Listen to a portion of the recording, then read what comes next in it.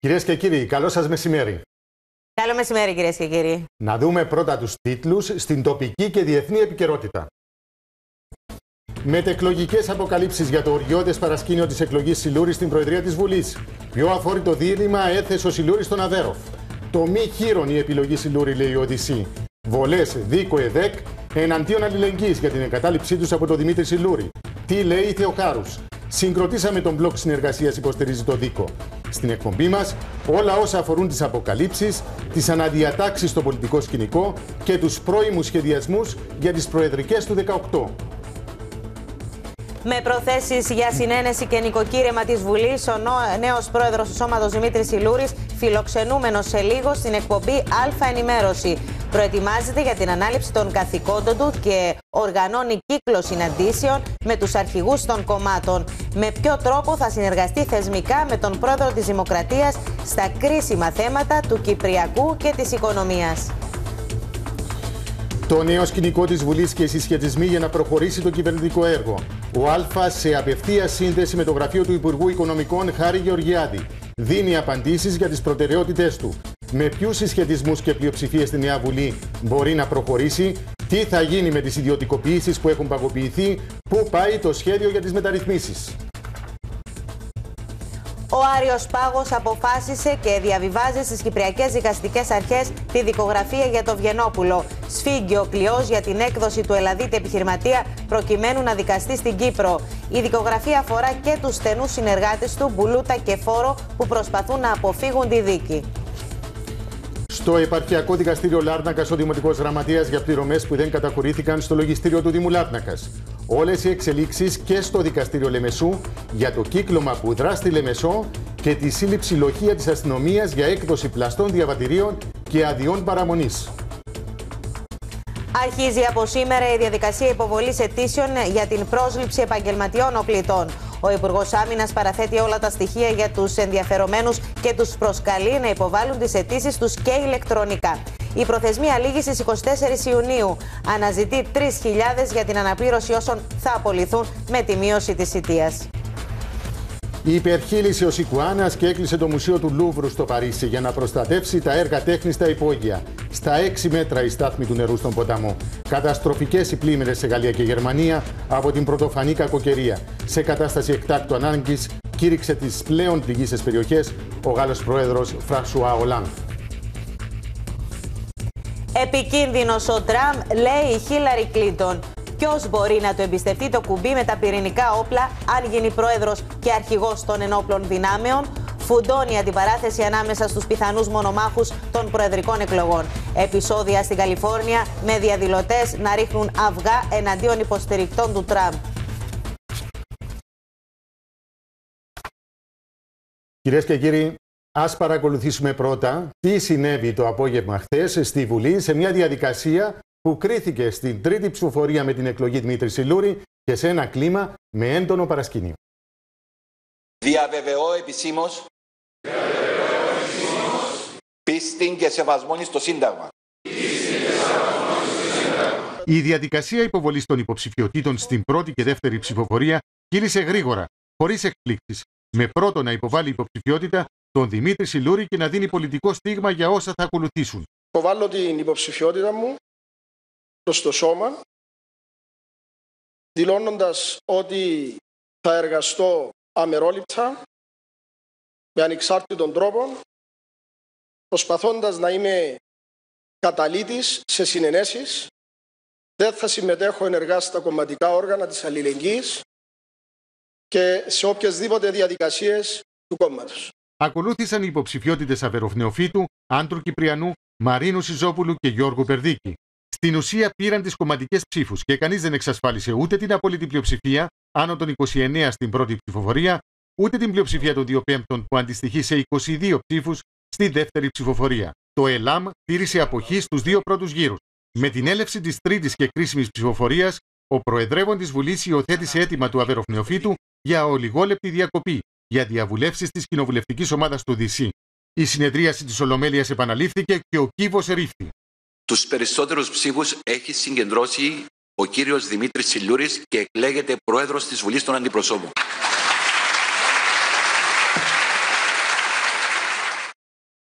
Στο Δημοκρατικό Συναγερμό υπάρχει ικανοποίηση για την εκλογή Σιλούρη, γιατί υποστηρίζουν ότι απέτρεψε το χειρότερο, δηλαδή την εκλογή Μαρίνου Σιζόπουλου. Πικρή γεύση ανάμεσα σε στελέχη, ιδιαίτερα από τον τρόπο που ο Δημήτρης Σιλούρης επέβαλε την υποψηφιότητά του στην τηλεφωνική μας γραμμή είναι ο Νίκος Νουρής, βουλευτής του ΔΣ και μέλος του πολιτικού γραφείου. Καλημέρα, κύριε Νουρή. Χαιρετώ. Είστε ικανοποιημένοι από την εκλογή Δημήτρη Σιλούρη; Κοιτάξτε, είχε, είχε διαμορφωθεί τις προηγούμενες μέρες ένα σκηνικό το οποίο θα έπρεπε να διαχειριστούμε και κάποιες εξελίξεις που επίσης θα έπρεπε να συζητήσουμε. Αυτό κάναμε και σε πλήρη ταύτιση ε, και με την ε, κυβέρνηση, αφού ο Δημοκρατικός Συναγερμός είναι κυβερνών κόμμα και θεωρήσαμε ότι ο, ο δεύτερος στην τάξη αξιωματούχος του κράτους θα έπρεπε να βρίσκεται σε απόλυτη πολιτική και πολιτιακή αρμονία με τον πρόεδρο της Δημοκρατίας, στήσαμε το θέμα και με την κυβέρνηση και καταλήξαμε στη συγκεκριμένη ε, επιλογή. Θέλω να διευκρινίσω ευθύς εξ αρχής ε, και δεν αποκρύβω κάτι το οποίο δεν έχει λεχθεί, ότι όταν ξεκίνησε η συγκεκριμένη διαδικασία, ο Δημοκρατικός Συναγερμός διεκδίκησε την Προεδρία για του Προέδρου του. Και αυτό γιατί, ενώ τις προηγούμενες μέρες κάναμε τεράστια προσπάθεια για να υπάρξει συνένεση. Να θυμίσω ότι απευθυνθήκαμε πρώτα και πάνω απ' όλα στο μεγάλο κόμμα της αντιπολίτευσης, το ΑΚΕΛ, στο οποίο προτείναμε ε, μια συνεργασία την οποία δεν έγινε κατορθωτό να τελεσφορήσει. Στη συνέχεια, ε, και αφού δεν φάνηκε να υπάρχει στήριξη στην υποψηφιότητα του κ. Αβέροφ Νεοφίτου, ο Δημοκρατικός Συναγερμό έπρεπε, κατά την δική μας εκτίμηση, να κινηθεί και να επιλέξει την καλύτερη λύση. Η καλύτερη λύση ήταν η επιλογή Δημήτρη Σιλούρη. Θεωρείτε ότι αποτρέψατε το χειρότερο σενάριο για εσάς, δηλαδή την εκλογή Μαρίνου Σιζόπουλου; Θεωρώ ότι έπρεπε να αποτρέψουμε την επιλογή του κ. Σιζόπουλου για καθαρά πολιτικούς λόγους. Το επεξηγήσαμε ε, αρκούντος τις προηγούμενες μέρες και ναι, με αυτή την συγκεκριμένη μεθοδολογία κινηθήκαμε. Από την ώρα που δεν, μπορέσαμε, που δεν μπορούσαμε αριθμητικά να εκλέξουμε τον πρόεδρο του Δημοκρατικού Συναγερμού στην θέση του πρόεδρου της ε, προχωρήσαμε με τη συγκεκριμένη επιλογή. Το μη βέλτιστον, κύριε Νουρί, λέγεται συνέχεια από την πλευρά διαφόρων πολιτικών στελεχών. Ερωτώ το εξής. Νιώσατε ότι ήσασταν κάτω από μια μορφή εκβιασμού από τον Δημήτρη Σιλούρη; Αν δεν με ψηφίσετε εμένα, εγώ θα ψηφίσω Σιζόπουλο. Η ενημέρωση την οποία είχαμε, κύριε Πιερίδη, στο πολιτικό γραφείο από τον πρόεδρο του κόμματος ήταν ότι κατά την συζήτηση που έγινε με τον Μαρίνο Σιτζόπουλο, με συγχωρείτε, με τον κύριο Σιλούρη το πρωί ε, χθες, ε, τέθηκε ενώπιον του Δημοκρατικού Συναγερμού η, η υποψηφιότητα του κυρίου, κυρίου Σιλούρη, ο οποίος ζήτησε την στήριξη του Δημοκρατικού Συναγερμού. Εξ όσων αντιλαμβανόμαστε, δεν υπήρχε πρόθεση του κυρίου Σιλούρη να διαφοροποιηθεί στην περίπτωση που ο Δημοκρατικός Συναγερμός δεν θα τον ψήφισε. Δεν ε, λέχθηκε το πολιτικό γραφείο θέμα εκβιασμού. Παρά τα αυτά, ε, επαναλαμβάνω ότι την ώρα που εμείς ζητήσαμε την ε, διακοπή, την ολιγόλεπτη διακοπή στην Βουλή, αυτό το οποίο πράξαμε, έτσι για να ξεκαθαρίζουν τα πράγματα, ήταν μια διαβούλευση μεταξύ των βουλευτών του Δημοκρατικού Συναγερμού και του Προέδρου. Έγινε μια αποτίμηση της διαδικασίας, ε, εκτιμήθηκαν οι κίνδυνοι στην περίπτωση που ε, τοποθετούμασταν διαφορετικά στην τρίτη ψηφοφορία και τελικά λήφθηκε η απόφαση να προχωρήσουμε όπως προχωρήσαμε. Ποιοι ήταν οι κίνδυνοι για τους οποίους αναφέρεστε; Οι κίνδυνοι της εκλογής του κ. Σιστόπουλου. Με ψήφους, με τις ψήφους, γιατί ο, ο Αβέροφ Νεοφίτου μέχρι εκείνο το σημείο θα μπορούσε να εξασφαλίσει την, ε, τις περισσότερες ψήφους. Μέχρι το 17 πήγε, μέχρι τους 17 ψήφους πήγε ε, ο, ο Μαρίνος Σιζόπουλος.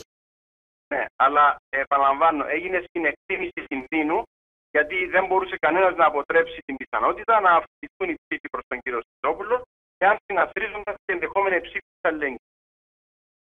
Και του ΕΛΑΜ. Βεβαίως. Και του ΕΛΑΜ. Ερωτώ το εξής.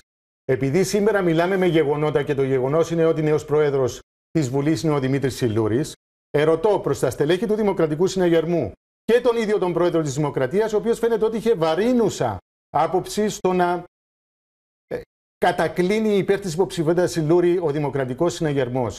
Δεν υπάρχει μια πικρία για όσα έχουν προηγηθεί, όχι μόνο πρόσφατα, μιλάμε ήδη από το 2004 και μετά, τουλάχιστον 4-5 συγκρούσεις και αλληλοσυγκολήσεις.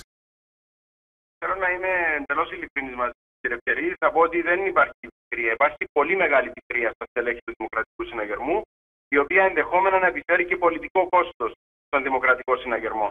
Αυτό το γνωρίζαμε χθες όταν παίρναμε την απόφαση, αλλά επαναλαμβάνω, ο Δημοκρατικός Συναγερμός απεφάσισε χθες να κάνει ουσιαστικά μια μεγάλη υπέρβαση, γιατί πολύ απλά θεωρήσαμε και θεωρούμε ότι η ενδεχόμενη επιλογή σε αυτή την συγκεκριμένη χρονική στιγμή του κ. Σιζόπουλου ε, θα δημιουργούσε πολύ περισσότερα προβλήματα τόσο όσον αφορά το κομματικό περιβάλλον, όσο πολύ περισσότερο το πολιτιακό.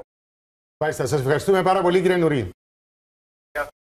Στιγμές από το οριώδε παρασκήνιο της επιλογής Δημήτρη Σιλούρη αποκάλυψα στην ε, πρωινή εκπομπή του Α κάθε μέρα άλλη μέρα ο αντιπρόεδρος του ΔΣ Γιώργος Γεωργίου και ο πρόεδρος των οικολόγων Γιώργος Περδίκης. Να παρακολουθήσουμε ένα απόσπασμα. Επέλεξαν τον Δημήτρη Σιλούρη. Ήταν πιεζόμενοι από έναν δίλημα το οποίο τους είχαν θέσει ξεκάθαρα ο κύριος Σιλούρης και πιστέψτε με, ήταν ικανό να το κάνει. Τους έχει πείσει, ε, το ξέρουν ότι θα το κάνουν ότι αν δεν έτυχαν των ψήφων των 18 ψήφων του Δημοκρατικού Συνεργασμού θα ψήφιζε τον Μαρίον τον Σιζόπουλο και θα έβγαινε πρόεδρο ο Μαρίον Σιζόπουλο. Όχι, μας είπε κατά μούτρα. Αυτό επιβαρύνει ακόμα περισσότερο το σκηνικό. Αυτό που λέει ο κύριος ε, Περδίκης, ναι, ο κύριος Σιλούρη, όταν στις 11 χθες ε, το μεσομέρι είχαμε συνάντηση μαζί του, ε, όταν ζήτησε ο ίδιος να μας δει, σε σχετική μου ερώτηση προς τον ίδιο, εάν για τον όποιον λόγο ο Δημοκρατικός Συνεργμός ε, Δημήτρη δεν σε στηρίξει, δεν σε ψηφίσει, ποια θα είναι η θέση του κόμματος της αλληλεγγύης ε, αμέσως μετά, διότι αμέσως μετά ήταν υποψηφιότητα του κυρίου Σιζόπουλου. Λέει έχουμε προηλημένη απόφαση των βουλευτών μας ότι θα στηρίξουμε την υποψηφιότητα του Μαρίνου Σιζόπουλου. Μας είπε ξεκάθαρα. Μάλιστα. Και, αυτός, και, αυτός, και αυτή του η αναφορά, ναι, ήταν ένας επιπρόσθετος εκβιασμός για να συρθεί ο Δημοκρατικός Συναγερμός να τον ψηφίσει γνωρίζοντας ο ίδιος, γνωρίζοντας ο ίδιος την εκπεφρασμένη από όλους θέση του Δημοκρατικού Συναγερμού ότι ενδεχόμενη εκλογή του Μαρίνου Σιζόπουλου για μας ναι και εδώ συμφωνώ ε, θα δημιουργούσε πολιτιακά και πολιτικά προβλήματα ή και εκτροπές μεταξύ των δύο θεσμών και της Προεδρίας της Δημοκρατίας και της Προεδρίας της Βουλής. Είναι η δική μας εκτίμηση. Ποια ήταν η τρίτη δική σας επιλογή κύριε Γεωργίου; Θα την εκφράσω και δημόσια ότι είναι κάτι το οποίο λέχθηκε και καταγράφηκε χθες στη διάρκεια της ε, συζήτησης στην κοινωνική ομάδα του κομμάτων. Η απόφαση ήταν ότι πάμε μέχρι τον δεύτερο γύρο με τον πρόεδρο του κόμματός μας και στη συνέχεια ο Δημοκρατικός Συνεργασμός έχει τη δυνατότητα υπέρβασης. Η δική μου θέση ήταν ότι η υπέρβαση έχει δύο δρόμους. Δεν είναι μονόδρομος, δεν θα πρέπει να είναι μονόδρομος η υπέρβαση για τον Δημοκρατικό Συναγερμό. Και η δική μου άποψη ήταν ότι ο δεύτερος δρόμος ήταν και υποψηφιότητα του Γενικού Γραμματεία του ΑΚΕΡ για ένα θέμα το οποίο προσωπικά ιεραρχούσα και προσωπικά είχα συζητήσει αυτό το θέμα σε όλα τα στάδια τα χθεσινά των συσκέψεων, των συνεδριάσεων, των συλλογικών οργάνων του κόμματός μας. Και η δεύτερη επιλογή ήταν γιατί ιεραρχούσα ότι η υποψηφιότητα του άντρου του Κυπριανού ήταν μέσα στα πλαίσια της ε, πολιτικής η οποία εκφραζόταν και εκφράζεται από τον πρόεδρο της Δημοκρατίας η διακηρυγμένη πολιτική της μορφής λύσης του εθνικού μας θέματος στα πλαίσια της ζωνικής δικοινωτικής ομοσπονδίας γνωρίζοντας την διαχρονική θέση του κυρίου Σιλούρη και του κόμματος της Αλληλεγγύης ότι απέχει έτη φωτός από τη διακηρυγμένη αυτή πολιτική την οποία ακολουθεί ο πρόεδρος της Δημοκρατίας και υιοθετεί ο Δημοκρατικός Συναγερμός από την ίδρυσή του μέχρι και σήμερα. Για το ΑΚΕΛ ο λόγος κυρίες και κύριοι, να πάμε να δούμε ποια είναι η αντίδραση του ΑΚΕΛ για την Προεδρία Σιλούρη, αλλά και σε σχέση με πληροφορίες για το οριώδες παρασκήνιο με το Δημοκρατικό Συναγερμό. Στη τηλεφωνική γραμμή είναι ο πολιτικός μας συντάκτης, Γιώργος Γεωργιάδη. Γιώργος, ακούμε. Καλό σας μεσημέρι. Στην Εζεκία Παπαϊωάννου, Κυριάκου και Κατερίνα θεωρούν πως το ΑΚΕΛ δεν ε, βγήκε χαμένο από αυτή τη διαδικασία εκλογής Πρόεδρου της Βουλής. Παρά το γεγονός πως ούτε Πρόεδρο ανέδειξε ούτε και πέτυχε κάποια συνεργασία. Αντίθετα, θεωρούν πως βγήκαν ενισχυμένοι σε σχέση με, τα, με τη στάση που τήρησε το κόμμα και τα μηνύματα τα οποία έστειλε. Ο Στέφανος Στεφάνου δήλωσε πριν από λίγο πως η εκλογή του Προέδρου της Βουλής ανέδειξε ποια κόμματα εννοούν τα περί ορθολογισμού και διαφάνειας στην πολιτική ζωή και ποια καταλαβαίνουν την πολιτική ως χώρο συναλλαγής και παζαρέματο. Τα πειρά του ΑΚΕΛ στρέφονται κυρίως κατά του δυτή. Καθώς θεωρούν πως παρότι σε ολόκληρη τη διαδικασία δήλωναν ότι βασικό κριτήριο είναι το Κυπριακό, εν τούτης έκαναν υπέρβαση, αλλά προς την κατεύθυνση ε, εξυπηρέτηση μιας υποψηφιότητας, η οποία κάθε άλλο ε, παρά έχει τεθεί θέσει στο Κυπριακό. Ε, ο Στέφανος Στεφάνου βεβαίωσε πως ποτέ ο δεν έκανε πρόταση για εκλογή του Αδάμου Αδάμου στην Προεδρία της Βουλής. Δεν έχει καμία σχέση με την αλήθεια αυτά τα οποία βγήκαν προς τα έξω, είπε. Ενώ αναφέρθηκε και στις επαφές του ΑΚΕΛ με τα άλλα κόμματα, λέγοντας πως κάποια από αυτά είχαν ήδη πάρει τις αποφάσεις τους, δημιουργώντας ε, τετελεσμένα. Μάλιστα. Δεν επιβεβαιώνει η πλευρά του ΑΚΕΛ την υποβολή άλλων εναλλακτικών προτάσεων για την Προεδρία της Βουλής από την πλευρά του Δημοκρατικού Συνεγερμού, αλλά ούτε και το ίδιο το κόμμα πήρε άλλη πρωτοβουλία εκτός από την υποψηφιότητα άντρου Κυπριανού. Έτσι, δεν, δεν επιβεβαιώνεται οποιοδήποτε άλλο όνομα πέραν αυτό του άντρου Κυπριανού. Το ΑΚΕΛ παράλληλα εκφράζει την λύπη του γιατί στατικό μέρος στο παρασκήνιο και τη συναλλαγή ε, έγινε όπως ε, είπαν και ο ίδιος ο πρόεδρος της Δημοκρατίας, κάτι το οποίο είναι απαράδεκτο και αντιδιοντολογικό. Γιώργο Γεωργιάδης, ευχαριστούμε πάρα πολύ. Συνέχεια στο ρεπορτάζ. Να δούμε τώρα την πρώτη τοποθέτηση του Μαρίνου Σιζόπουλου.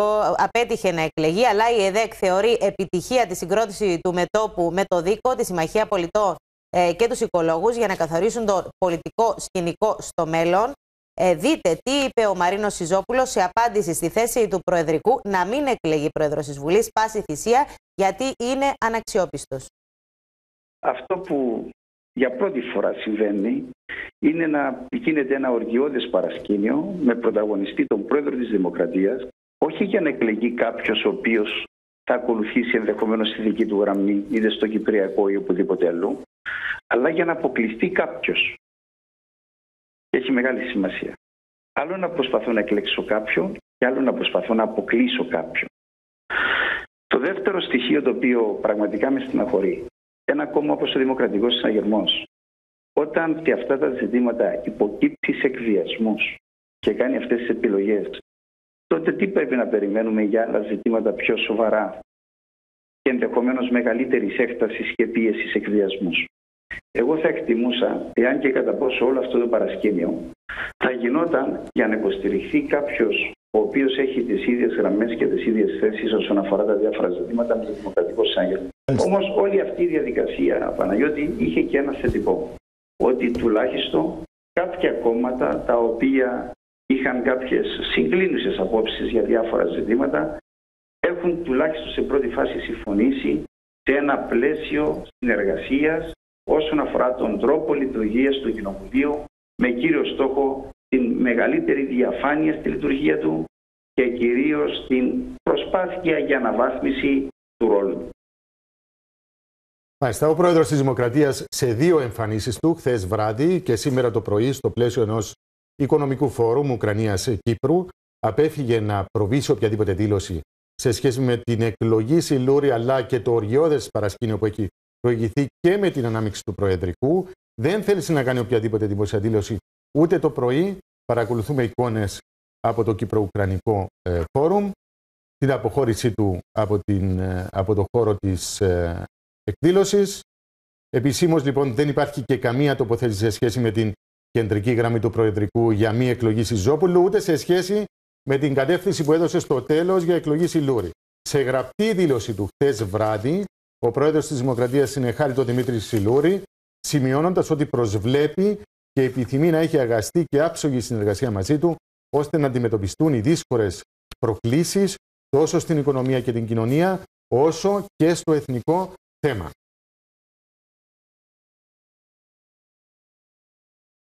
Πώς διαμορφώνεται η επόμενη μέρα, κυρίες και κύριοι, για το Δημοκρατικό Κόμμα, επιτυχία ή αποτυχία της εκλογής Πρόεδρου της Βουλής, ποιοι σχεδιασμοί του κόμματος που ηγήθηκε της προσπάθειας για την εκλογή Σιζόπουλου, απέτυχε μεν, αλλά θα πρέπει να δούμε πώς βλέπει την επόμενη μέρα. Συνδυόμαστε μέσω Skype με τον βουλευτή του κόμματος, του Δημοκρατικού Κόμματος, τον Άγγελο Βότση. Κύριε Βότση, καλημέρα σας από τη Λευκοσία, εσείς στη Λεμεσό. Λοιπόν, είναι επιτυχία για το Δημοκρατικό Κόμμα ή αποτυχία εκλογής Μαρίνου Σισόπουλου. Δεν έχει επιτευχθεί το ζητούμενο. Άρα, υπό αυτήν την άποψη, μπορεί κάποιο να πεις ότι δεν έχουμε πετύχει το αποτέλεσμα το οποίο είχαμε υπόψη να πετύχουμε.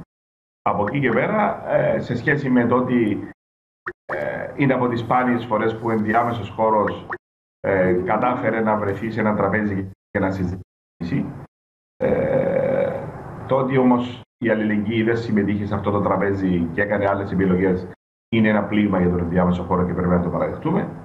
Και είμαι βέβαιος ότι τα συλλογικά όργανα θα συνεδριάσουν σύντομα για να αναλύσουμε το αποτέλεσμα αυτής της κίνησης κατά πόσο τελικά ήταν επιτυχές, επιτυχής η κίνηση ή όχι. Προσδιορίστε μας την επιτυχή σύμπηξη ενός μετόπου ανάμεσα στις δυνάμεις. Με εξαίρεση την αλληλεγγύη δεν ξέρουμε τι θα κάνετε αν θα συνομιλήσετε με την κυρία Θεοχάρους, αν έχετε κάψει τις γέφυρες εξαιτίας της εκλογής Σιλούρη από τον Δημοκρατικό Συναγερμό. Και πού έγκυται η επιτυχία, είναι μια πρώιμη προετοιμασία για τις προεδρικές του 18.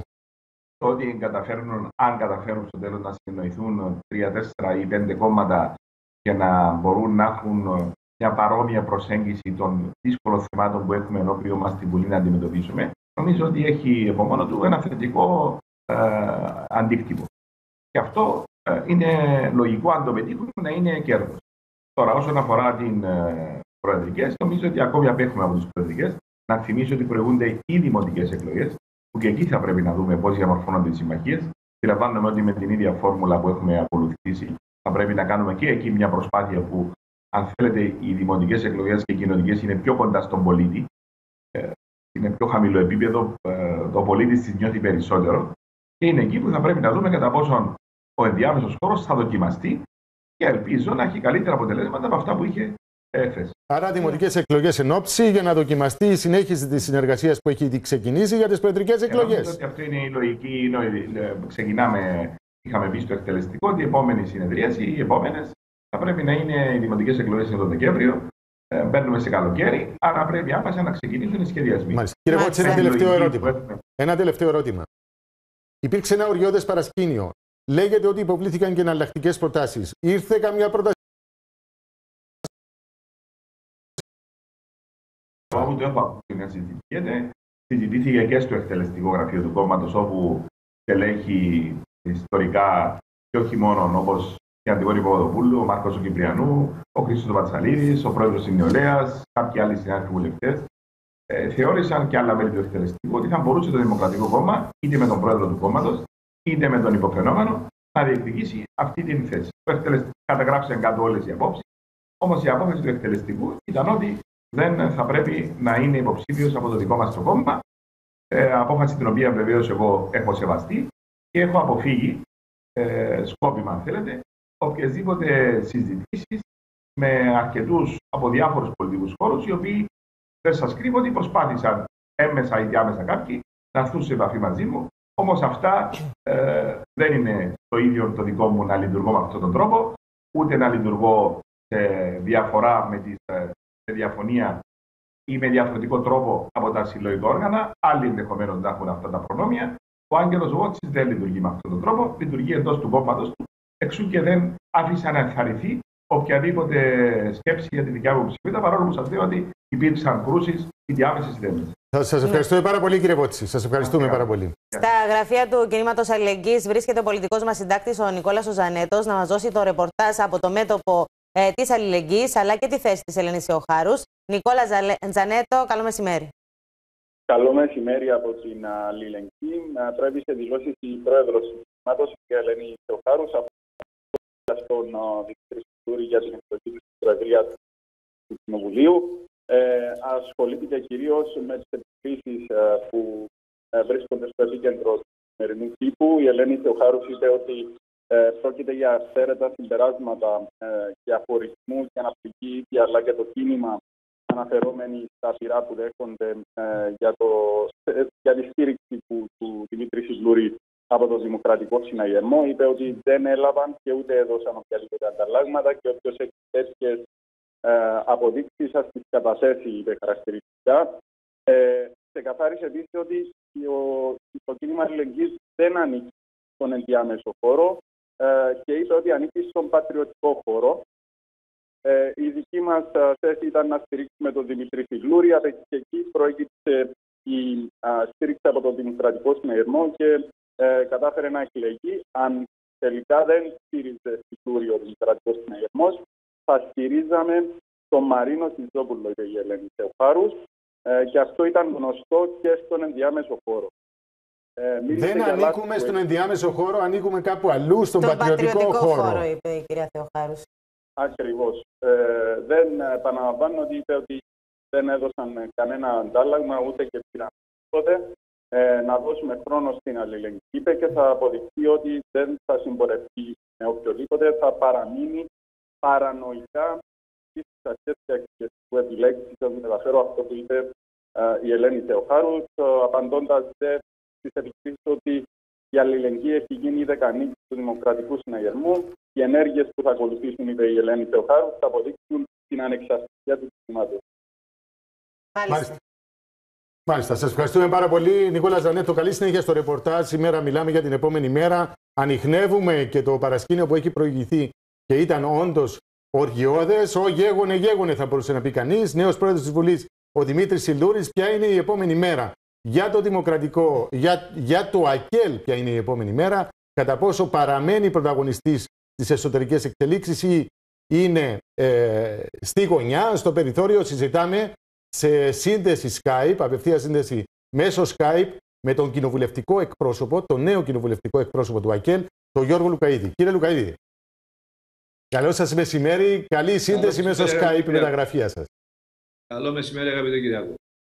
Λοιπόν, ποια είναι η επόμενη μέρα, πώς είδατε την εκλογή και τι σημαίνει σε σχέση με τους συσχετισμούς στο εσωτερικό μέτωπο και για εσά ιδιαίτερα; Λοιπόν, ένα σχόλιο πρώτα σε σχέση με τη χθεσινή διαδικασία. Η εκτίμησή μας, αγαπητέ Κυριάκο, είναι ότι η χθεσινή διαδικασία μας πήρε πίσω σε σχέση με την εικόνα απαξίωσης που έχουν οι πολίτες απέναντι στην πολιτική ζωή και την πολιτική διαδικασία.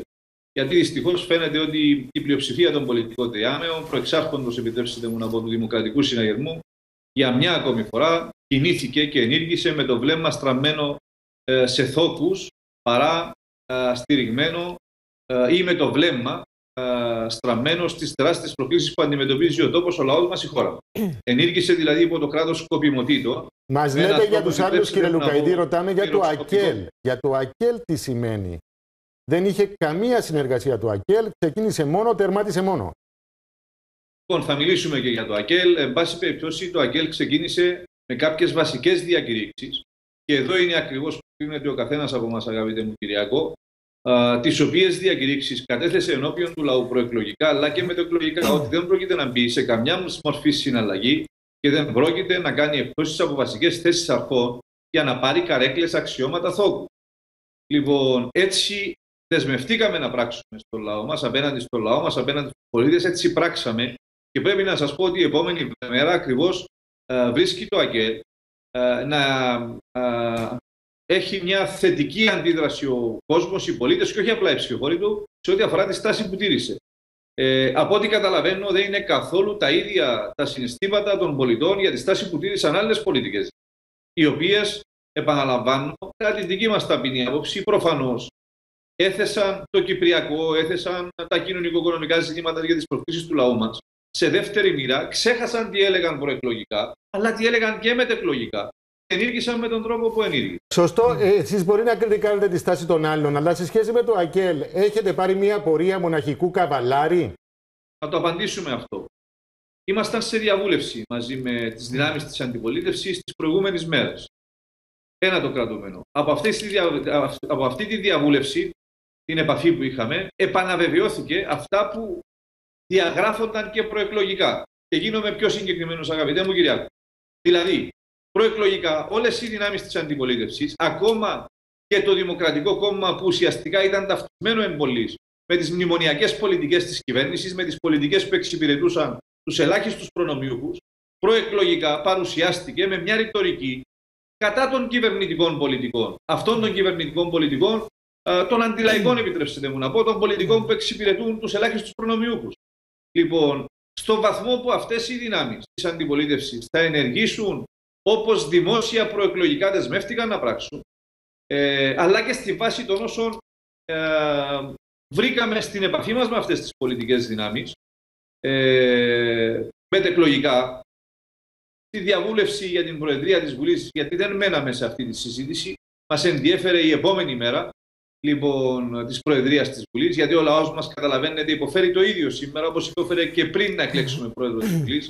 Σε αυτή λοιπόν τη διαβούλευση θεωρώ ότι διαπιστώθηκε κοινό έδαφος, αλλά και πρόθεση, βούληση, ώστε να ενεργήσουμε μέσα από κοινέ πρωτοβουλίες για να δημιουργήσουμε τις προϋποθέσεις εφαρμογής πολιτικών που θα υπηρετούν τα, τα συμφέροντα ή την ευημερία των πολλών και όχι τα μας, συμφέροντα και των Λούκα, ήδη ελάχιστων. μας λέτε ότι δεν είστε απομονωμένοι και υπάρχει περιθώριο να συνεργαστείτε με τα υπόλοιπα κόμματα της αντιπολίτευσης. Θέλουμε να σας ευχαριστήσουμε. Δυστυχώς είναι πολύ σύντομη η επικοινωνία μας. Πολλά θα κρυθούν και στην πράξη.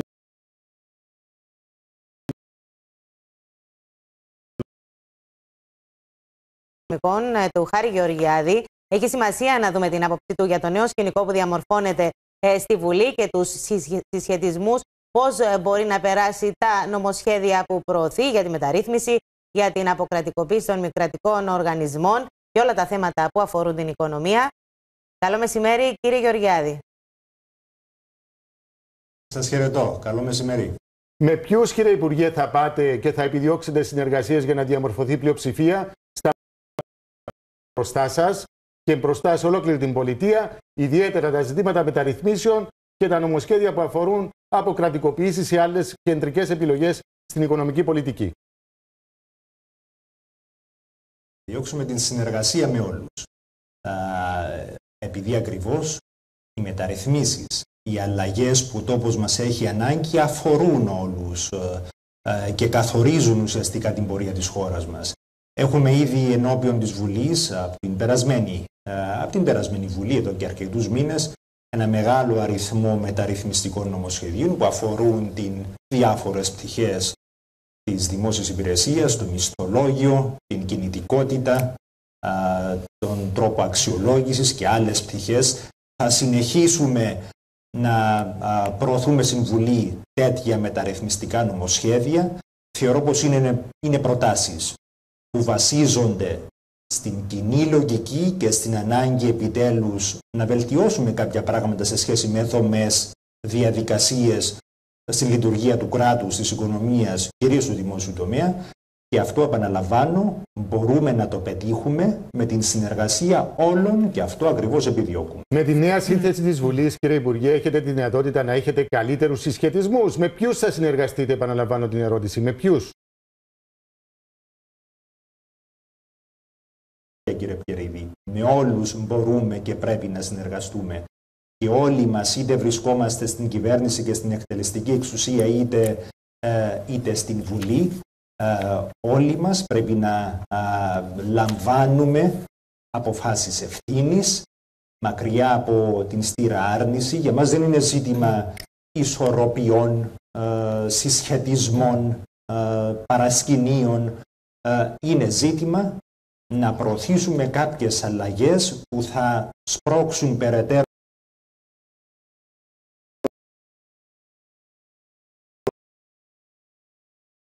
τελευταία τρία χρόνια δεν θα διακυβευτούν, αλλά αντιθέτως να απελευθερώσουμε ακόμη περισσότερο τις παραγωγικές δυνάμεις της οικονομίας μας. Δεν θεωρώ πως υπάρχει πολιτική δύναμη που εκπροσωπείται στην Βουλή που να είναι ενάντια σε τέτοιες σε τέτοιες αλλαγές. Διαφορετικές προσεγγίσεις βεβαίως θα υπάρχουν και είναι λογικό εάν τις διαχειριστούμε αυτές τις διαφορετικές προσεγγίσεις υπεύθυνα με τρόπο θετικό και παραγωγικό. Είμαι βέβαιος πως θα βρούμε λύσεις και θα κάνουμε τα βήματα που πρέπει. Υπάρχει περιθώριο διαλόγου για το θέμα των ιδιωτικοποιήσεων και είναι κάτι που πρέπει να είναι στις προτεραιότητες της Νέας Βουλής. Ασφαλώς υπάρχει περιθώριο διαλόγου και είχαμε κάνει εκτεταμένο διάλογο και παραμένουμε πανέτοιμοι και για αυτό το ζήτημα. Πρώτα απ' όλα να πω πως το πρόγραμμα αποκρατικοποιήσεων, αδειοδοτήσεων, παραχωρήσεων ε, είναι πολύ συγκεκριμένο. Και κάποια σημαντικά βήματα έχουν ήδη γίνει. Ε, και να εκφράσω την ικανοποίηση μου πως αυτά τα σημαντικά βήματα έγιναν με την σύμφωνο γνώμη της Βουλής. Το πιο σημαντικό κατά την άποψη μου ήταν το ζήτημα του λιμανιού της Λεμεσού. Ε, το λιμάνι μπορεί και πρέπει να μετατραπεί σε κινητήριο δύναμη και ολόκληρη την οικονομία. Έγινε, προχώρησε αυτό το, το, το βήμα. Μπορέ, μπορέσαμε να βρούμε ε, ε, κοινό έδαφος. Η αδειοδότηση για το καζίνο είναι στο ίδιο πλαίσιο, στην ίδια πολιτική που από το τέλος του 2013 είχαμε προσδιορίσει. Έχουμε κάποια βήματα ε, που θα ακολουθήσουν, όπως προχώρησε το λιμάνι της Λεμεσού με την έλευση επενδυτών, πρέπει πιθανόν στον επόμενο χρόνο να προχωρήσουμε στο λιμάνι της Λάρνακας. Κύριε Υπουργέ, δεν έχετε την αίσθηση. Επιτρέψτε. Το, το, ζήτημα, το, το ζήτημα του κρατικού λαχείου δεν είναι ζήτημα ιδεολογικό ή δογματικό. Αν βρούμε μια καλή ρύθμιση που να βελτιστοποιεί και τα δημόσια έσοδα, διαρωτούμε ποιος θα έχει αντίθετη άποψη. Κύριε Ξέρω πως στην, στην περίπτωση της ΣΥΤΑ υπάρχουν διαφορετικέ ναι. απόψεις, να τις συζητήσουμε. Έχετε και έναν πάγο για τα επόμενα δύο χρόνια σε σχέση με τη ΣΥΤΑ. Αν καταφέρετε να το σπάσετε, είναι ένα ερώτημα δικό σας. Το απευθύνουμε σε εσάς. Και το δεύτερο ερώτημα, είστε πολιτικός τέλεχο του Δημοκρατικού Συναγερμού. Συμμετείχατε και στις διαβουλεύσεις. Παίξατε με το μη χείρον βέλτιστο. Η σημερινή σύνθεση της Βουλής είναι πιο προσιτή στο να διαμορφωθούν συνενέσεις από αυτή που αφήσατε στην τελευταία ολομέρεια της προηγούμενης Βουλής. Κύριε Πιερίδη, δεν θα ήμουν ειλικρινής αν σας έλεγα πως δεν ανησυχώ, ε, επειδή υπήρξαν, υπήρξαν κάποιες ενδείξεις που πρέπει να προβληματίσουν. Και εμένα με έχουν προβληματίσει. Σε σχέση δηλαδή με την α, ανάγκη και την διάθεση μας κυρίως να παραμείνουμε σοβαροί και προσιλωμένοι και μετά το μνημόνιο. Αυτό είναι το ζητούμενο. Αρμόσαμε ένα πρόγραμμα Λάβαμε δύσκολες αλλά σωστές αποφάσεις και βλέπουμε χειροπιαστά αποτελέσματα. Έχουμε ένα ικανοποιητικό ρυθμό ανάπτυξης, άρχισε να μειώνεται η ανεργία, είναι, είναι τα δημόσια οικονομικά σε μια θέση που μας επιτρέπουν να αρχίσουμε να αποδίδουμε πίσω τους συμπολίτες μας, όμως έχουμε δρόμο να διανύσουμε. Και γνωρίζω πολύ καλά πως υπάρχουν και συμπολίτες μας που εξακολουθούν να αντιμετωπίζουν σοβαρές δυσκολίες. Υπάρχουν και ε, αλλαγές τις οποίες χρειαζόμαστε προκειμένου να εδραιώσουμε αυτή την πορεία ανάκαμψης. Ε, και δεν επαναλαμβάνω, από τη μια υπάρχουν κάποιες συμπεριφορές που προκαλούν προβληματισμό, από την άλλη θέλω να είμαι αισιόδοξος πως θα, πως θα βρούμε και με την νέα Βουλή τον τρόπο ε, να λάβουμε εκείνες τις αποφάσεις που, που θα μας επιτρέψουν να πάμε μπροστά όπως μέσα, όπως, όπως στο κάτω-κάτω λειτουργήσαμε και με την προηγούμενη Βουλή και εκεί υπήρχαν πολλές φωνές και εκεί υπήρχαν διαφορετικές προσεγγίσεις για σειρά ζητημάτων όμως βρήκαμε τον τρόπο τα σημαντικά να τα προωθήσουμε όπως έπρεπε. Έτσι πρέπει και τώρα να συνεργαστούμε και ο Δημοκρατικός Συναγερμός αφού με ρωτήσετε ε, είναι ε, πανέτοιμος ε, να λειτουργήσει με έναν τρόπο συνενετικό και να συνεργαστεί με τις υπόλοιπες πολιτικές δυνάμεις και το ίδιο βεβαίως πρώτη στα ισχύει και για την κυβέρνηση. Αυτή είναι η κατεύθυνση που ο πρόεδρος της Δημοκρατίας ε, έχει επιβεβαιώσει ε, προς τους υπουργούς του. Επιτρέψτε μας, επιτρέψτε μας, κύριε Υπουργέ, επιτρέψτε μας κύριε Υπουργέ, το κλίμα δεν έχει αλλάξει δεν μυρίζει παρατεταμένη προετοιμασία της Πετρικές του 18. Διανύεται το τέλος, το 1 τρίτο τελευταίο της θητείας. Τι μπορεί να περνάει σε ένα κλίμα όπου υπάρχει στα οικονομικά μπλοκ από την πλευρά του ΑΚΕΛ και ένα νέο συγκροτημένο μπλοκ άλλων δυνάμεων, τους οποίους έχετε απέναντί σας ως αντιπολίτευση; Κύριε Πιερίδη, ξέρετε αυτά τα ερωτήματα ε, δεν είναι σε μένα το που πρέπει να τα θέσετε. Είναι πιθανώς στους εκπροσώπους ε, των πολιτικών κομμάτων στην Βουλή, στους βουλευτές. Αυτό που εγώ μπορώ να σας πω ε, είναι ποια είναι η πρόθεση μας, ποια είναι η κατεύθυνση μας, αλλά να εξηγήσω και ποια είναι η ανάγκη ε, του τόπου και της οικονομίας μας. η ανάγκη του τόπου και της οικονομίας μας είναι να συνεχίσουμε με σοβαρότητα την προσπάθεια και η διάθεση της κυβέρνησης είναι να συνεργαστεί και να συνεννοηθεί όλους προκειμένου να διατηρήσουμε αυτή την πορεία. Τώρα αυτά που με ρωτάτε, εσείς ίσως ως, ως αναλυτής πρέπει να τα σχολιάσετε, αλλά και οι, αλλά και οι εκπρόσωποι στην Βουλή με τις πράξεις, με τη συμπεριφορά τους να επιβεβαιώσουν. Ε, υπάρχει και ένα άλλο νομοσχέδιο που πρέπει να δει η Βουλή. Είναι η επιβολή ΦΠΑ στα κινήτα 19% στα οικοδομήσιμα οικόπεδα. Θεωρείτε ότι είναι κάτι που πρέπει να τεθεί ενώπιον της σε, σε πρώτο στάδιο;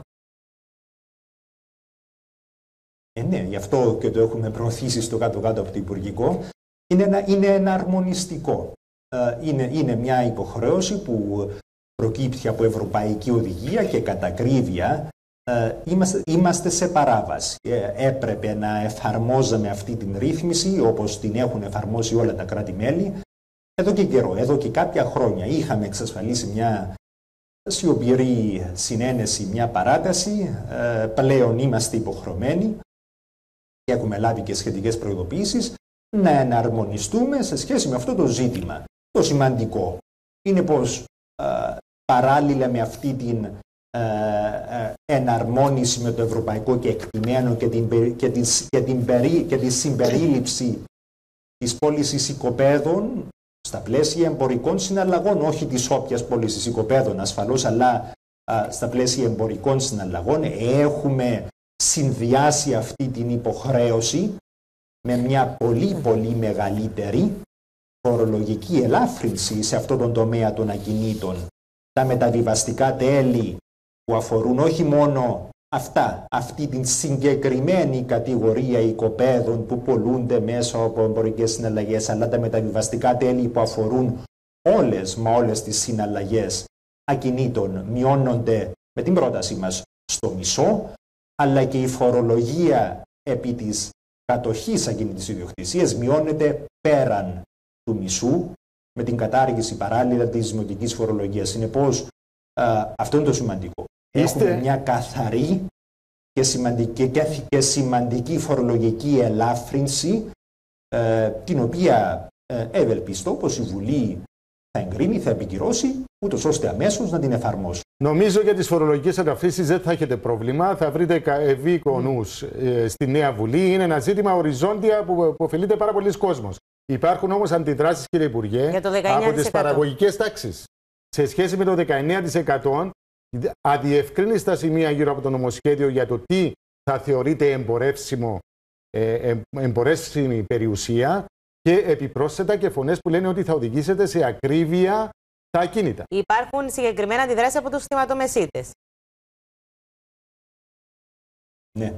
Ε, όπως σας έχω πει, ε, έστω και αν είναι σωστές οι αντιδράσεις, έστω και αν είναι δικαιολογημένες οι αντιδράσεις, ε, είναι ευρωπαϊκή υποχρέωση. Είναι συμβατική υποχρέωση μας που απορρέει από τη συμμετοχή μας στην Ευρωπαϊκή Ένωση. Ε, και είμαστε σε παράβαση επειδή αργήσαμε. Δεν συμφωνώ με αυτές τις αντιδράσεις. Δεν θεωρώ πως θα υπάρχει ε, αυτό το, αυτή, αυτή η δυσανάλογα μεγάλη επίπτωση κυρίως επειδή την έχουμε συνδυάσει με πολύ σημαντικές ελαφρύνσεις στον ίδιο τομέα, τον τομέα των ακινήτων αλλά θεωρητικά. Και έτσι να ήταν, ποια είναι η εισήγηση; Να παραβιάσουμε ευρωπαϊκή υποχρέωση, να είμαστε το μόνο κράτος ολόκληρη την Ευρωπαϊκή Ένωση που να μην έχει εναρμονιστεί με υποχρεωτική δεσμευτική ευρωπαϊκή οδηγία; Δυσκολεύομαι να κατανοήσω. Μάλιστα. Ε, κύριε Γεωργιάδη, μια τελευταία ερώτηση. Ποια θα θέλετε να είναι η σχέση σας με την Επιτροπή Οικονομικών; Αυτή που έχω, που έχω ήδη προδιαγράψει μια σχέση συνεργασίας, συνεννόησης και αλληλοσεβασμού, ε, αναγνωρίζοντας βεβαίως ε, το, το, το γεγονός πως ενδεχομένως να έχουμε και διαφορετικές απόψεις σε σειρά ζητημάτων. Εάν αυτές τις διαφορετικές προσεγγίσεις τις διαχειριστούμε με έναν τρόπο σωστό, σοβαρό και υπεύθυνο, νομίζω πως θα μπορέσουμε να υπηρετήσουμε το καλός νούμερο συμφέρον του τόπου μας και των συμπολιτών μας. Σας ευχαριστούμε πάρα πολύ, κύριε Ευχαριστούμε. Υπουργέ, για αυτή την απευθεία συνομιλία τηλεοπτικός εγώ, από να το είστε γραφείο καλά. σας. Γεια σας, γεια σας. Στο μεταξύ, Κυριάκο, πριν προλάβει να ξεκινήσει η Βουλή, θα σταματήσει και καλοκαιρινές διακοπές. Θα πάνε για διακοπές. Τι θα Εμείς προλάβουν από όλα αυτά; προαναγγέλουμε στους τηλεθεατές μας ότι αναμένουμε σε κάποια στιγμή στη διάρκεια της εκπομπής μας να έχουμε εδώ μαζί μας τον νέο πρόεδρο της Βουλής, Το Δημήτρη, τον Δημήτρη Σιλούρη. Σιλούρη, και έχουμε να κουβεντιάσουμε τα σχέδιά του για την επόμενη μέρα, το γεγονός ε, της δικιάς του παρουσίας και το στίγμα που θα δώσει για τις εργασίες της Νέας Βουλής. Περνάμε σε ένα άλλο μεγάλο θέμα από το διεθνή χώρο που μας αφορά και εμάς. Σοβαρό είναι το διπλωματικό επεισόδιο που προκλήθηκε με την Τουρκία από το γεγονός ότι η Γερμανική Ομοσπονδιακή Βουλή προχώρησε με ψήφισμά της με συντριπτική πλειοψηφία σχεδόν ομόφωνα να αναγνωρίσει την γενοκτονία των Αρμενίων το 1915. Η Άγκυρα ανακάλεσε τον ε, Τούρκο πρέσβη στο Βερολίνο, ενώ ο Ταγί Περτογάν, κυρίες και κύριοι, προβλέπει ότι η απόφαση της Ομοσπονδιακής Γερμανικής Βουλής θα έχει σοβαρές επιπτώσεις στις σχέσεις των δύο χωρών.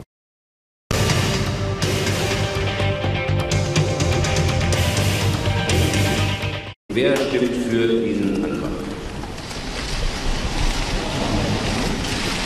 Wer stimmt dagegen? Wer enthält sich der Stimme? Ρήγμα στις σχέσεις Βερολίνου-Άγκυρα προκαλεί απόφαση της Γερμανικής Βουλής να αναγνωρίσει πανψηφί ως γενοκτονία της σφαγή των Αρμενίων το 1915 από δυνάμεις της Οθωμανικής Αυτοκρατορίας. Die heutige Regierung in der Türkei ist nicht verantwortlich für das, was vor 100 Jahren geschah. Aber sie ist mitverantwortlich für das, was daraus in Zukunft wird.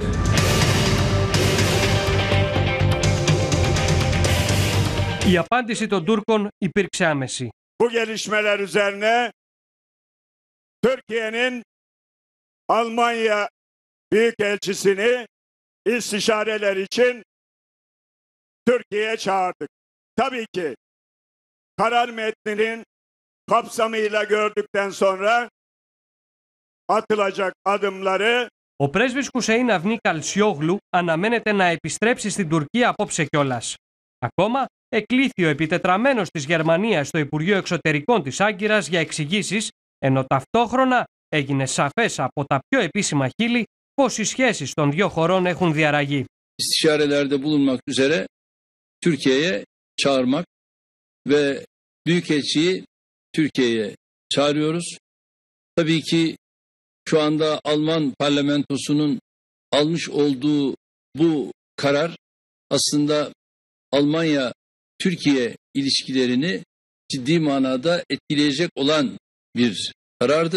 το ψήφισμα στήριξε η Άγγελα Μέρκελ παρά τις προειδοποιήσεις του Τούρκου Προέδρου. Ο Ρετζέπτα Ερντογάν σε πρόσφατη τηλεφωνική τους επικοινωνία είχε τονίσει πως το ψήφισμα θα έβλαπτε τις διμερείς σχέσεις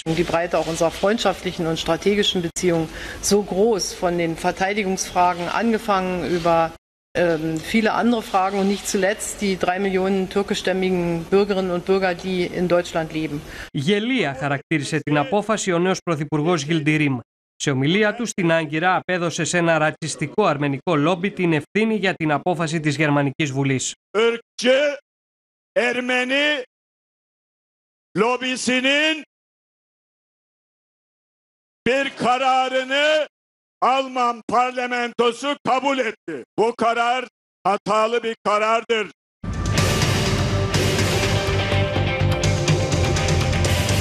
Την ώρα της συνεδρίασης έξω από το Γερμανικό Κοινοβούλιο βρίσκονταν σε εξέλιξη διαδηλώσεις μεταναστών, ενώ βουλευτές τουρκικής καταγωγής κατήγγυλαν δολοφονικές απειλές που ωστόσο δεν στάθηκαν ικανές να επηρεάσουν το σώμα.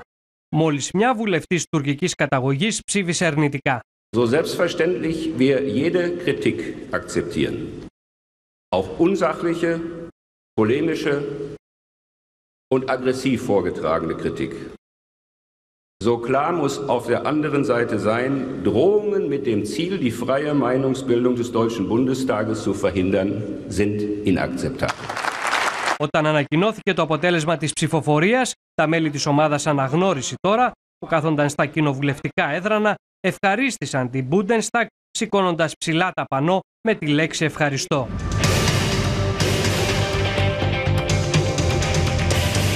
Σε αυτό το εκρηκτικό κλίμα επαναλαμβάνονται οι διαβουλεύσεις σε επίπεδο ειδικών για το προσφυγικό, με ανοιχτό το ενδεχόμενο νέα συνάντησης Μέρκελ-Ερντογάν. Η τουρκική κυβέρνηση δηλώνει αποφασισμένη να επιμείνει στη θέση της και να διατηρήσει ως έχει τον αντιτρομοκρατικό νόμο, ο οποίος έχει εξελιχθεί και στο σημαντικότερο εμπόδιο για τη βίζα. Η αναγνώριση της ε, ιστορικής αλήθειας έχει μεγάλη σημασία, ισχυρή αξία για όλες ε, τους λαούς του κόσμου, για όλους τους λαούς του κόσμου και ειδικά για τους Αρμένιους. Να συνδεθούμε τώρα τηλεφωνικώς με τον εκπρόσωπο της αρμενικής ε, κοινότητας στην Κύπρο, ε, το Βαρκές Μαχτεσιάν. Καλημέρα κύριε Μαχτεσιάν. Καλημέρα σας. Τι σημαίνει για σας η αναγνώριση της φαγής των Αρμενίων από τη Γερμανική Βουλή; Καταρχήν ε, πρέπει να πω πως για τους Αρμένιους αλλά για ολόκληρη την ανθρωπότητα το ζήτημα της αναγνώρισης της αρμενικής γενοκτονίας είναι θέμα τάξης και ηθικής ικανο, ικανοποίησης. Η επίσημη αναγνώριση της αρμενικής γενοκτονίας από την κάτω βουλή της Γερμανίας ήταν μια ε, πάρα πολύ σημαντική εξέλιξη ε, και όπως γνωρίζετε το ψήφισμα πέρασε σχεδόν ομόφωνα με μια αποχή και μια ψήφο κατά. Παράλληλα κάτι πολύ σημαντικό ε, αναγνωρίστηκε και η ευθύνη του Γερμανικού ΡΑΕΧ στη γενοκτονία. Αυτή η διάσταση, κύριε Μαχτεσιάν, η διπλή αναγνώριση, το Γερμανικό Ομοσπονδιακό Κοινοβούλιο κάνει μια διπλή παραδοχή της ιστορικής αλήθειας, το γεγονός δηλαδή ότι η Οθωμανική Αυτοκρατορία, οι Νεότουρκοι τότε είχαν κάνει τις μαζικές σφαγές που συνιστούν γενοκτονία, αλλά και η παραδοχή εμπλοκής της τότε Γερμανικής Αυτοκρατορίας σε όλη αυτή την ένοχη ε, ιστορική πραγματικότητα, έτσι.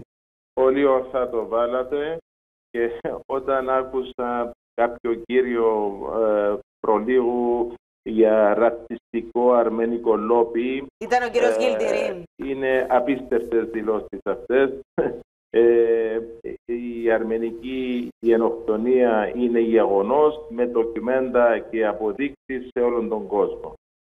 Κύριε Μαχτέσιαν, πόσοι από την αρμενική κοινότητα προέρχονταν από την Ανατολία, από τη Μικρά Ασία και τώρα ε, ζουν στην Κύπρο, οι απόγονοι ε, τους; Οι παραπάνω ήρθαν το, το 22 και το 23 ε, και ε, μιλάμε για περίπου 10.000 αρχικά και μπορεί μετά από κάποιους μήνες ε, πήγανε και σε άλλες χώρες, αλλά είναι ε, περίπου 10.000. Έχετε μια εξήγηση, κύριε Μαχτεσιάν, σε όλη αυτή τη συζήτηση για την αναγνώριση της γενοκτονίας; Έχουμε ήδη ισχυρά ψηφίσματα και στη Γαλλία. Προηγήθηκε η Γαλλία. Τώρα στη Γερμανία. Ε, να μας πείτε αν υπάρχουν και δρομολογούνται και άλλες εξελίξεις σε άλλες σημαντικές χώρες. Οι ΗΠΑ δεν έχουν προχωρήσει. Με, με την ε, αναγνώριση της Γερμανίας, ε, η αρμενική ενοκτονία έχει μέχρι τώρα αναγνωριστεί από 29 χώρες. Ε, εκ των οποίων ε, η Κύπρος που ήταν η δεύτερη στον κόσμο και πρώτη στην Ευρώπη. Το, η Κύπρος ε, αναγνώρισε τη γενοκτονία το 1975. Η πρώτη χώρα ήταν το Uruguay. Εμείς ε, ευχόμαστε ότι το γενναίο παράδειγμα της Γερμανίας θα ακολουθήσουν σημαντικές χώρες όπως το Ηνωμένο Βασίλειο, το Ισραήλ και ευχόμαστε οι Ηνωμένες Πολιτείες. Η αντίδραση της Τουρκίας ήταν αναμενόμενη. Βέβαια, εδώ μέρες η διπλωματία προσπαθούσε έντονα να αποτρέψει μια τέτοια απόφαση. Η Τουρκία αντέδρασε οργισμένα από την πρώτη στιγμή, ανακαλώντας ακόμη και τον Τούρκο πρέσβη στο Βερολίνο και εκτοξεύοντας διάφορες απειλές ε, όπως να κάνει. Ε, και πρέπει να πούμε πως παρά τις αστικές πιέσεις δέχτηκε η Γερμανική δεχτήκαν οι Γερμανοί βουλευτές, ε, προχώρησαν με αυτό το ψήφισμα ε, σχεδόν ομόφωνα, όπως είπαμε και προηγουμένως. Κύριε Μαχτεσιά, σας ευχαριστούμε για αυτή τη σύντομη τηλεφωνική επικοινωνία. Και εγώ σας ευχαριστώ. Λοιπόν, ήρθε η ώρα που σας ε, λέγαμε από την αρχή. Καλωσορίζουμε στο στούντιο τον νέο πρόεδρο της Βουλής, τον Δημήτρη Σιλούρη. Καλώς ήρθατε. Πώς νιώθετε που είστε πρόεδρος της Βουλής από σήμερα; Μεγαλύτερη ευθύνη, ερίσκεψη, σκέψεις για προγραμματισμό για να δώσουμε αυτά που χρειάζεται σήμερα η Κύπρος μέσω της Βουλής. Θα αξιοποιήσουμε αυτά που είπαν οι αρχηγοί κομμάτων, τα οποία θεωρώ πολύ σημαντικό χθες όλοι που τόνισαν τη συνένεση και την αποτελεσματικότητα, ώστε να ξαναβρει η Βουλή μέσω αποτελεσματικότητας, όχι μέσω επικοινωνιακών και ρητορικών τοποθετήσεων, την αξιοπιστία της και τη σύνδεση με την κοινωνία και τον λαό. Είστε από το 91 κοινοβουλευτικός. Ναι, γιατί μου το θυμίζει. Σας το θυμίζω γιατί η εμπειρία συσσωρευμένη, κύριε Σιλούρη, ναι, ναι. Σας, δίνει και το δικαίωμα να έχετε συγκεκριμένες εισηγήσεις ως προς το ζήτημα της αποτελεσματικότητας. Ναι. Τι λείπει και μπορείτε εσείς με την ιδιότητα την νέα που έχετε να σπρώξετε μπροστά πω, για να αλλάξει στα κοινοβουλευτικά Θα σας πω κύριε Περίδη. Ε, αυτή η συσσωρευμένη πείρα όπως το βάλετε δεν μου έδωσε μόνο γνώσεις, ιδέες, εμπειρίες, μου έδωσε και την α, ανάγκη ότι για να φέρουμε ένα αποτέλεσμα πρέπει να υπάρχουν πολλά άλλα στοιχεία που αφορούν όχι το γνωσιολογικό, αν θέλει να το βάλω έτσι, αλλά και το συναισθηματικό υπό την έννοια της σωστής συνεννόησης, ε, σωστή επικοινωνία, σωστές ανταλλαγές απόψεων την ώρα που πρέπει. Καμιά φορά μπορεί να χάσεις την υπόθεση στα διαδικαστικά και να αφήσεις την ουσία πίσω. Το πάθαμε και πρόσφατα. Τις διαπροσωπικές σχέσεις εννοείται, αυτό που μπορεί να ναι, αλλά σε, σε, σε, σε, σε, πολιτική βάση. Mm. Όχι να τρώμε και να πίνουμε και να κάνουμε όσο κάνουμε και παλιά στη Βουλή Αγίες Βασίλειες. Πώς θα ναι. χτίσετε συνένεση, που ήταν το βασικό σας στίγμα, ναι. κύριε Πρόεδρε, να σας πω. στα ζητήματα τα μείζωνα και το μήνυμα του Πρόεδρου της Δημοκρατίας. Ναι, ε, θα, θα ναι. μπορούσα να συμπληρώσω το προηγούμενο. Ναι. Άρα, ε, μπορεί να θεωρηθεί ότι αποφεύγω από την άποψη μου για το τι πρέπει να γίνει με, στο ΑΒ σημείο. Ένα από τα πράγματα που πρέπει να μην κάνω είναι να ξεκινήσω να λέω προσωπικές μου απόψεις τώρα εδώ στο στούντιο και να πάω τη Δευτέρα ναι. και να καλέσω αρχηγού να μου Έχετε εισηγήσεις, κύριε; Θα, θα στερηθείτε το δικαίωμα που είχατε. Θα στερηθείτε το δικαίωμα που είχατε να μιλάτε πρώτος. Βεβαίως. Αυτοπεριορίζομαι, ναι. αν θέλετε, σε αυτά τα ζητήματα και πολλά άλλα. Δεν, δεν μπορώ να τα καταγράψω ή να τα πω, αλλά λέω κάποια χαρακτηριστικά με αφορμή τις ε, ερωτήσεις σας. Αλλά είτε θα πάμε εκεί και, και δεν εξαρτάται μόνο από μένα, αλλά δεν θέλω το ανάποδο να εξαρτάται από μένα. Ότι ναι. πάμε εκεί, τσακωνόμαστε, κοκορομαχίες, καθένα να πει το αυτό το κτλ. Ναι. Άρα ε, θα μπορούσα και από αυτά που άκουσα σήμερα στα, να, να σχολίαζα. Αποφεύγω και δεν θα σχολιάσω. Και να με προκαλέσετε όσον θέλετε, δεν θα πάρετε Για όσα προηγήθηκαν, δεν σηκώνετε ερώτηση. Για δηλώσεις τελεχών του ΔΣ εννοείται. Για οτιδήποτε πέραν της ανάγκης να λειτουργήσω ως πρόεδρος της Βουλής, ο θεμισμικός μου ρόλος, ο ρόλος που έχω να συντονίσω και στη βάση της προσέγγισης που έχω υποσχεθεί, μου επιβάλλει αυτοπεριορισμό. Δεν θα απαντήσετε στα σήμερα. Περί εκβιασμού δεν θα απαντήσετε. Και άλλος σύλλουρη, βεβαίως όχι. Και άλλος σύλλουρη θα είμαι αν αύριο το πρωί πάρω τον τζιν μου και πάω στο περβόλιο του πατέρα μου κτλ. Άρα, άρα δεν είναι άλλος σύλλουρη, είναι ο ίδιος σύλλουρη. Αλλά όταν είναι πολύ διαφορετικό να είσαι αρχηγός κόμματος, πολύ διαφορετικό να είσαι βουλευτής κόμματος, πολύ διαφορετικό όταν ετώνιζα εγώ ότι το ότι δεν είμαι πρόεδρος κόμματος έχει τη σημασία του. Δεν το έλεγα επικοινωνιακά, το εννοούσα. Δεν θα κάνετε αντιπολίτευση. Θα έχω τις τοποθετήσεις μου που αφορούν τη λειτουργία της Βουλής. Δεν απαλλάσσω τον εαυτό μου από την υποχρέωση να έχω άποψη, αλλά τον υποχρεώνω να την πει εκεί και όπου νιώθω ότι είναι ανάγκη, όχι να την πω για να την πω επικοινωνιακά και ούτω καθεξής. Κύριε Σελουρή, Γι' αυτό και, και θα πω και κάτι το οποίο δεν ναι. θα σας αρέσει. Ναι, να μας πει κάτι που δεν θα μας αρέσει. Να το ακούσουμε. Δεν θα αρέσει σε κανένα από σας και θα κάνω δημοσιογραφική διάσκεψη τη Δευτέρα, ενώ του, το μέσο. Ε, δεν έχω πρόθεση να είμαι συχνάς. Και σήμερα είναι πολύ δύσκολη αν ήρθα και με, εντάξει, ήταν και η πίεση, έβαλα και λίγο χρόνο γιατί πρέπει να πάω στον ένα και στον άλλο και παράπονα και ούτω καθεξής. Αυτό είναι το σημερινό. Αλλά θεωρώ ότι περισσότερα έργα, λιγότερα λόγια. Αν μιλούμε για ενημέρωση του κόσμου, συντεταγμένα να τον ενημερώνουμε για ουσία και αποτέλεσμα, όχι για παραπολιτικά και κουτσομπολιά και καυγάδες κτλ. Θα προσπαθήσω να τα τηρήσω. όσο Χθες και αν προκληθώ. Ο πρόεδρος της Δημοκρατίας σας έστειλε το συγχαρητήριο μήνυμα και ε, εξέφρασε την προσδοκία να συνεργαστείτε αγαστά στα μείζωνα ζητήματα με βάση και το δικό σας στίγμα. Συνένεση στα μεγάλα θέματα. Οικονομία, κοινωνία και το μείζον θέμα του εθνικό. Η Ερωτώ Βουλή, το η- η, εξής. Βουλή δεν λύει το Κυπριακό, Δεν το λύει το είπαμε και Κυπριακό. προεκλογικά. Και όταν είναι Ηρεμεί το υποψήφιος κλίμα βουλευτής. όμως. Ηρεμεί το κλίμα, αν θέλει, ή το πυροδοτεί ανάποδα. Συμφωνώ. Συμφωνείτε. Ερωτώ το εξής. Είστε ένας άνθρωπος ο οποίος τα τελευταία 13 χρόνια, 14, συγκρουστήκατε τέσσερις φορές με τον Νίκο Αναστασιάδη. Και εκείνος μαζί μου. Ναι. Δεν μάλλον μόνος μου, τον εαυτό μου. Ναι, συγκρουστήκατε μεταξύ σας. Ναι, ναι. Ε, πού ξέρουμε ότι δεν θα ξαναμαλώσετε. Σε σοβαρά ζητήματα. Πολιτικές διαφωνίες μιλάμε. Ναι, ναι. Πολιτικές Ε, Δεν διαφωνίες. μπορώ να το διαβεβαιώσω τούτο, αλλά η καλή πρόθεση θεωρώ ότι υπάρχει. Έχω την εντύπωση ότι ε, αποδείξαμε και οι δύο ότι μπορούμε να κάνουμε υπέμβα- ε, υπέρβαση σε πολιτικών επίπεδο και δεν μπορώ να φανταστώ ότι σήμερα αντίθεται ζήτημα διαπροσωπικών είτε σχέσεων ή αντιπαραθέσεων με τον πρόεδρο της Δημοκρατίας. Εγώ του τηλεφώνησα σήμερα, θα βρεθούμε το νωρίτερο που μπορεί και εκείνος.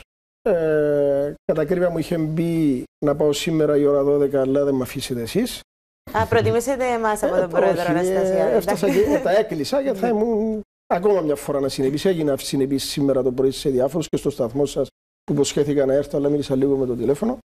Ε, ναι, ε, όσον αφορά αυτόν το τεχνικό καθαρά ζήτημα, πέραν της ουσίας που θίξετε, θα μιλήσω με τον πρόεδρο πώς θα επικοινωνούμε. Όποτε και αν τύχει και να τηλεφωνούμαστε ή μπορεί να είναι σωστή μια τακτική συνάντηση, ας πούμε, μία φορά την εβδομάδα, μισή ώρα, γιατί υπάρχουν πάρα πολλά ζητήματα που αν συντονιστούμε και αν συντονίσει και ο ίδιος τους υπουργούς του, τότε θα φέρουμε πολύ περισσότερο αποτέλεσμα.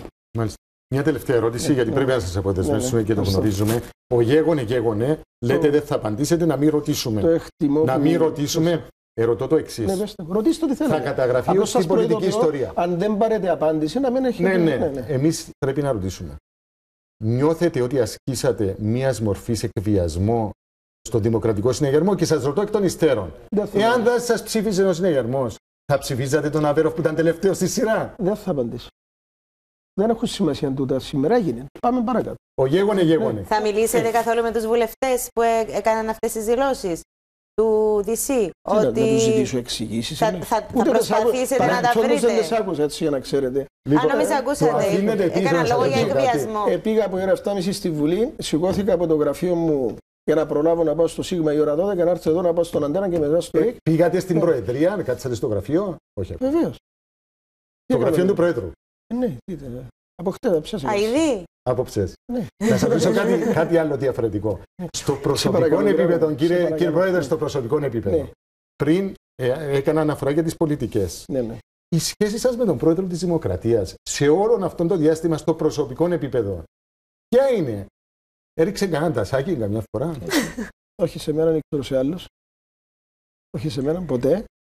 Και ποτέ από το παρελθόν που λέγεται. Η σχέση μα είναι πολύ καλή.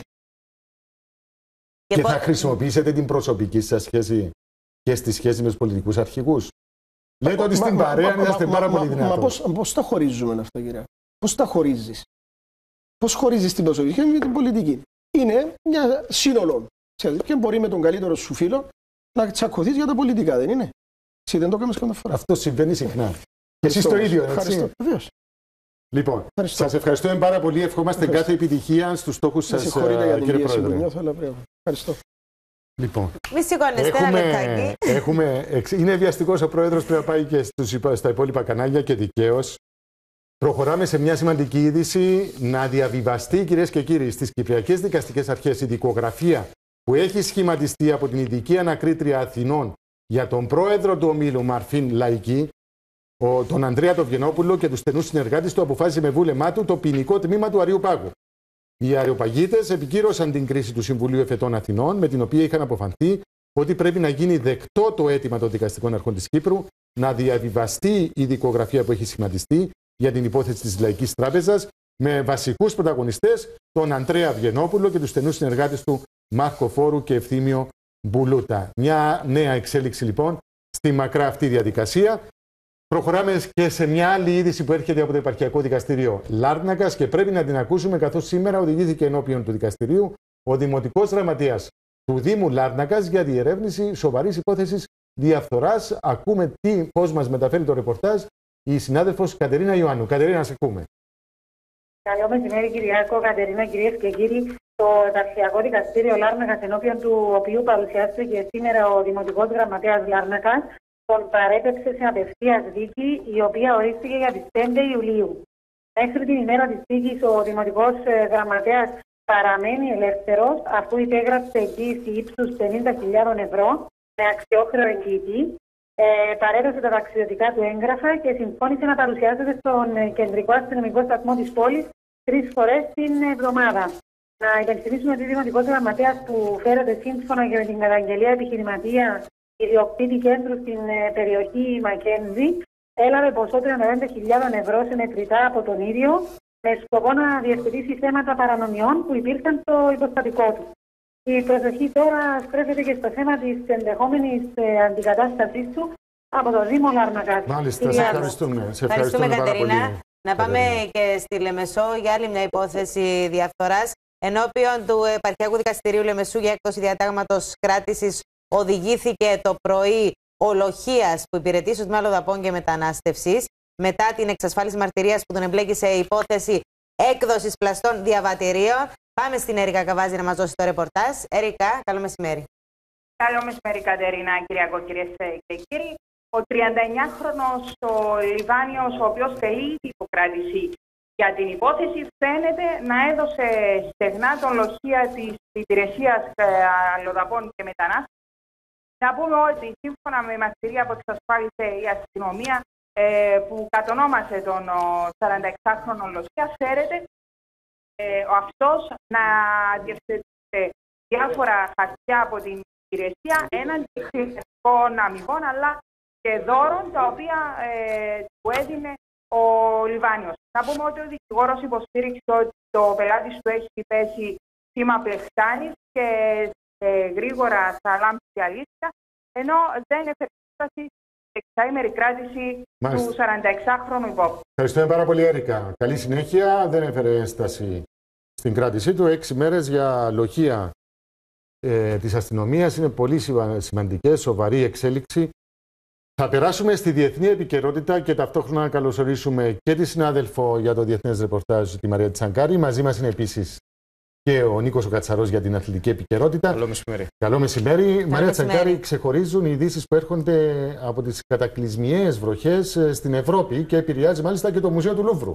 Ακριβώς το Μουσείο του Λούβρου έχει κλείσει και αρκετά από τα εκθέματα που βρίσκονταν στο υπόγειο με- μεταφέρθηκαν σε υψηλότερα πατώματα για να προστατευτούν. Ε, αναμένεται ο Σικουάνα σήμερα να φτάσει τα 6 μέτρα η στάθμη του νερού και πρόκειται για τον πιο βροχερό Μάιο από το 1960. Ο, ο Φρανσουά Ολάντ κήρυξε σε κατάσταση εκτάκτου ανάγκης τις πλέον πληγήσει περιοχές.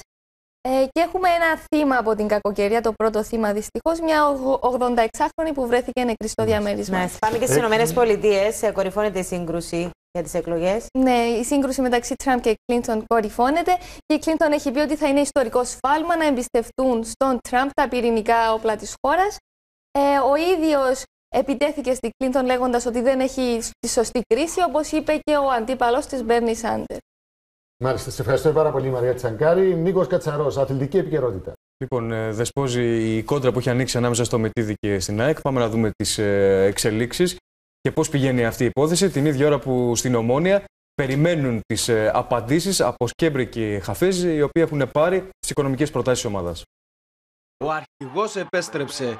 Ο Μάριος Νικολάου, ύστερα από ένα χρόνο μακριά από την ΑΕΛ, ντύθηκε εκ νέου στα γαλαζοκίτρινα. Ο 32χρονο ποδοσφαιριστής υπέγραψε συμβόλαιο τριετούς διάρκειας με την ομάδα της καρδιάς του, προσδοκώντας σε νέες επιτυχίες. Κίνηση που ανεβάζει ψυχολογικά τον κόσμο της ομάδας με τους λέοντες να έχουν ήδη ξεπεράσει τον περσινό αριθμό εισιτηρίων διαρκείας καθώς έχουν εξαντληθεί περίπου χίλια. Έως την Κυριακή αναμένεται να ανακοινωθεί ο νέος τεχνικός της Ομόνιας, καθώς τη Δευτέρα η ομάδα αρχίζει προετοιμασία. Η περίπτωση του Ελευθερόπουλου απομακρύνεται καθώς η Βέρεια πήρε την αδειοδότησή της και συνεπώς ο Ελλαδίτη τεχνικός εκτός απρόπτου θα συνεχίσεις στην Βασίλισσα του Βορρά. Στη χθεσινή συνάντηση Νταπίζα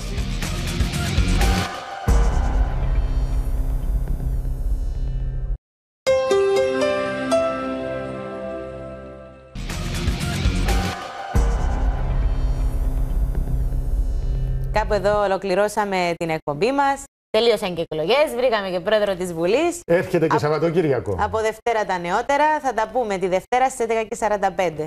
Γεια σας, γεια σας.